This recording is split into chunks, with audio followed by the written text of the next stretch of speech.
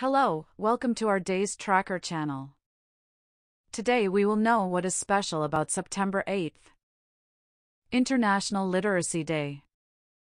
Head to the library, volunteer for an event, or donate books or money to help improve the world's ability to read and give people better opportunities in life. National Iguana Awareness Day.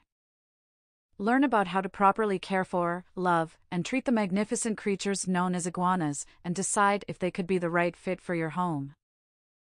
Actors Day. Take part in a local theater production, perhaps by auditioning or simply supporting local actors. Give some appreciation to this difficult but entertaining skill. Pardon Day.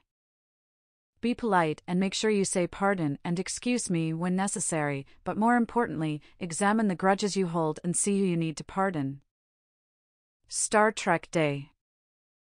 Binge Star Trek, the original series, or whichever series you like best, to honor the progressive cultural touchstone created by Gene Roddenberry in the 1960s. World Physical Therapy Day. Physical therapy can help everything from minor pains to serious injuries, and understanding how the body works can help you keep yours healthy and comfortable. Thanks for watching. To get more information every day, subscribe to our channel and click the bell icon to get notifications from us.